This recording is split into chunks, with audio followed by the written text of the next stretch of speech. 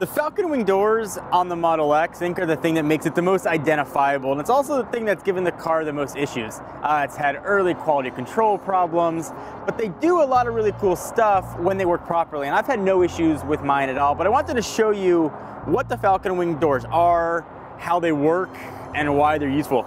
So opening them up, you can open it up in three different ways. You can use the key fob, you can touch the door, or you can use the 17 inch touchscreen inside. I'm gonna go ahead and touch the door and they will open up and articulate open with two separate hinges. And that's really the first way that these things are unique. They've got two different hinges as opposed to like DeLorean doors or Lambo doors, but they need a lot of space to kind of open up. These go up and they can go out uh, to get around cars. So for me, my use case in a garage, uh, I can open up really tight spaces. I can get in, I can get my kid in without having to back my car out first. I get really technical about the springs and the actuators in here. I've gone through and looked at the CAD drawing that Tesla actually gives to the fire department in case there's ever an accident so they can get the uh, car open. But the, the, short version is two separate hinges uh, to get this thing open and of course to help it close as well. So hinge here and then very clearly a hinge there uh, as well. Uh, there's also a ton of sensors uh, on this car as well that prevent it from banging into things and bashing into things. Um, so first I'll show some of the uh, pinch sensors that are here. So these run all the way along top of the car. Anywhere where it touches the base of the car, there are pinch sensors. They're almost like little buttons. So in case a finger or a hand gets stuck there, uh, it'll go ahead and open back up. Uh, there's also a combination of ultrasonic and capacitive sensors as well. It's a ton of tech crammed into this. Uh, you can close the doors really in the same way. There's also a little handle here to close it, but I'll go ahead and use the button and uh, I'll kind of stop it midway through and show you some of the stuff. So we'll go ahead and stop it here. So actually underneath the aluminum, you have ultrasonic sensors. Similar to the ultrasonic sensors we've got in the back of the car, these kind of button sensors here, but Elon Musk thought they looked ugly on the side of a car. So one of the reasons the Model X initially delayed was engineers had to design an entirely new sensor system uh, that can actually go through the aluminum on the car. Uh, and they did, and it works, which is surprising. So those run through the base here. Uh, and then there are touch capacitive sensors here. In case door is opening up, you can kind of tap it and the door will stop immediately, similar to capacitive on your phone, for example, sort of similar type of technology. So all those sensors work and kind of do a dance, make sure the doors will open and close around a person. So uh, I can show you real briefly how they work. Go ahead and close the door. So we'll go ahead and close.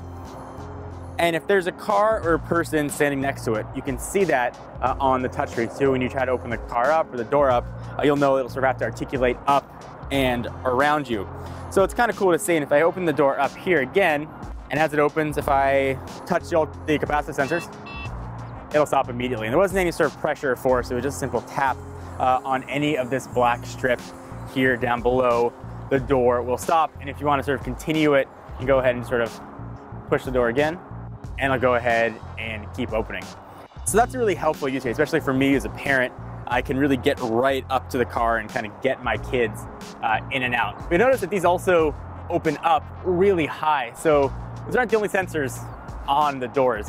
There actually are sensors on the top of the car as well to detect if you're in a parking garage, there's sort of an overhang or a big concrete something that the door can bash into.